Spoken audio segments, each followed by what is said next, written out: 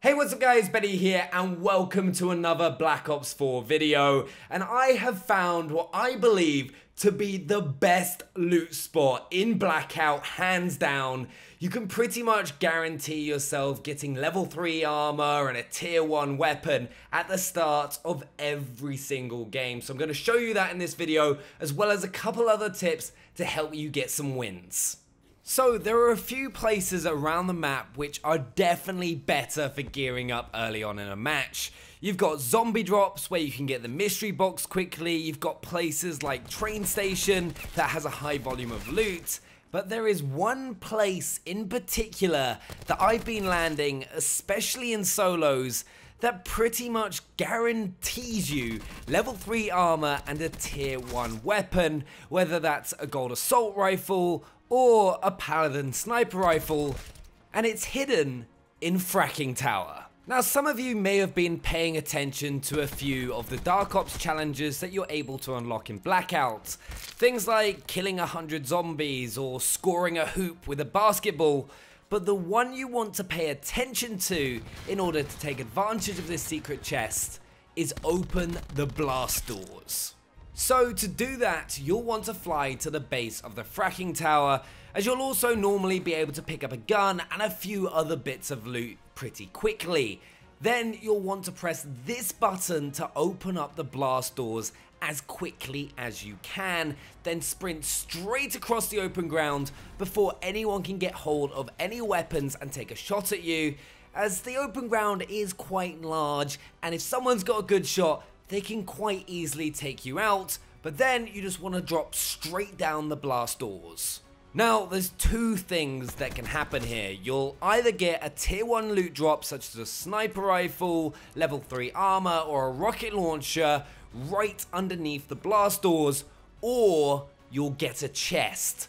Now, honestly, from my personal experience, the chest is usually what you'll get 9 times out of 10, but it's not just the loot you get from the chest or the loot points below the blast doors, it's also all the extra bits in this room that you get trauma kits, attachments, perks, concussion grenades, everything you need to be pretty geared at the start of a game. Now, this is a strategy I've been taking advantage of pretty much every time I've played solos or duos to help me get off to a good start. It's already helped me get a 19 kill win, which is currently my highest number of kills in the game since the launch, which I'm pretty happy with.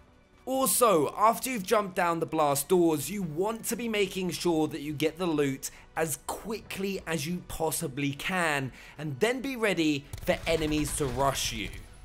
They can only come from two ways, either from where you just came from or from straight down this long corridor.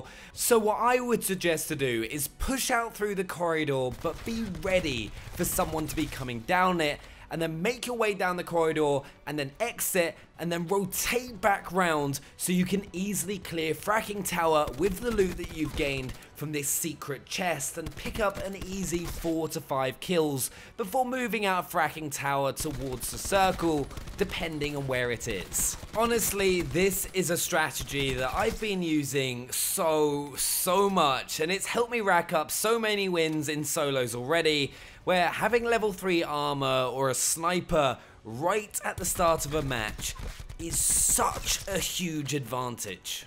Now, from what I've played so far, this is the best consistent loot spot that I've found in Blackout, and I don't know whether it's because of the Dark Ops challenge associated with it, but I hope that you can take advantage of it, and if you know of any other spots like this in Blackout, please please do let me know down in the comments below as I'll really appreciate it and I'm sure everyone else who's watching will as well. Something else I really wanted to talk about in this video which goes hand in hand with that secret chest spot which I'm sure will help you out, is that I'm sure you're aware that one set of level 3 armor is not going to be enough to be able to get you through an entire blackout map. So, once you've done this strategy at the start of a match, there's a few things you can do during the match to help make sure that you get a restock of level 3 armor. Firstly, there's the zombie gym that's quite close to Rivertown, which I normally quite like to go to after fracking tower, depending on the situation of my gear. If I've got enough perks, equipment, and so on.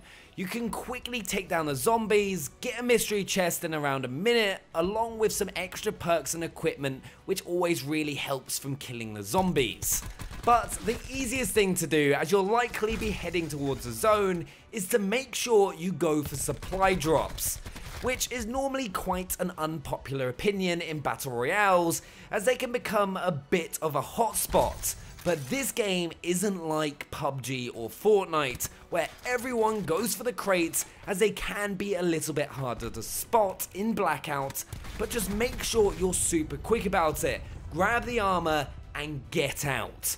Plus, you also have a chance of getting the notes to be able to unlock those character skins, which you definitely want to make sure that you get your hands on. But anyway, that's it from me today. Remember to take advantage of that fracking tower chest. Not that many people go there that often. It's pretty well hidden and also to boot, you complete a Dark Ops challenge also, go for those zombies mystery boxes, go for the supply drops from start to finish, and you will have a huge advantage over other players. And remember, use your equipment. Concussions, nine bangs are incredible, but do make sure to also subscribe. Let me know what you think down in the comments below, and if you've got any other locations like this, I'll really, really appreciate it. Smash that thumbs up button, and I'll see you soon for another video. See you next time.